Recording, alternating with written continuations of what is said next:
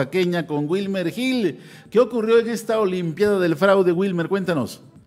Tarea, buenas tardes. Como señalas, pues esta misma escena se replicó prácticamente en el municipio de Pinotepa Nacional, donde el acarreo, la coacción de votos, el uso de personal de los ayuntamientos municipales pues fue evidente en esas elecciones del partido Morena. El día sábado en el Parque Municipal, ahí en el corredor del Palacio Municipal, se instalaron estas mesas receptoras en donde cientos de personas acudieron a votar en esta elección del partido Morena. Cabe señalar, Tarek, que en un recorrido que hicimos en la periferia de este parque municipal pudimos observar decenas de unidades del transporte público, estas conocidas como las camionetas pasajeras, además de patrullas de la Policía Municipal de las agencias pertenecientes a Pinotepa Nacional, incluso vehículos con la leyenda uso oficial, las cuales pues evidentemente fueron utilizadas para el acarreo de estas cientos de personas que participaron en esta elección de consejeras y consejeros estatales y nacionales. Este proceso pues transcurrió por la mañana con el retraso de la instalación de las mesas receptoras,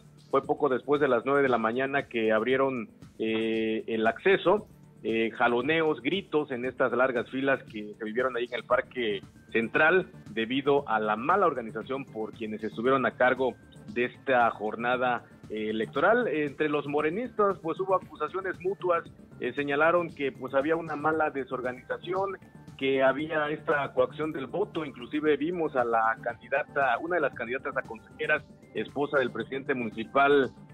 Antonio Marvel Jiménez Mesa, la señora Laura Valle, paseándose por esta por este parque municipal dando instrucciones también de cómo se debería de votar en esta jornada electoral además de los videos que circularon en redes sociales donde el coordinador de logística de este proceso electoral pues ayudaba a rellenar estas eh, papeletas de los votantes en este en este punto de, votación allá en Pinotepa Nacional. él,